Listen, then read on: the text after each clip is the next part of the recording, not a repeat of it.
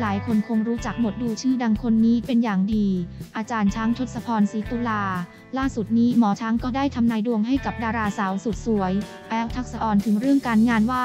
แอฟจะมีโปรเจกต์ใหม่พอเข้าเมษายนปุ๊บเดี๋ยวคนตื่นเต้นกันใหญ่บอกโปรเจกต์ใหม่คือ ก็จะมีงานใหม่ เริ่มอะไรใหม่ๆ เช่นโฆษณาใหม่ๆ เป็นราศีที่เงินเข้าเยอะปีนี้หลังจากดูดวงเสร็จหมอช้างหมอช้างยังพาแอฟไปไหว้พระวัดกังหันมีการหมุนกังหัน ที่บอกว่าปีชงให้หมุนย้อนกลับไม่มีนะคือทุกอย่างต้องหมุนจากซ้ายไปขวา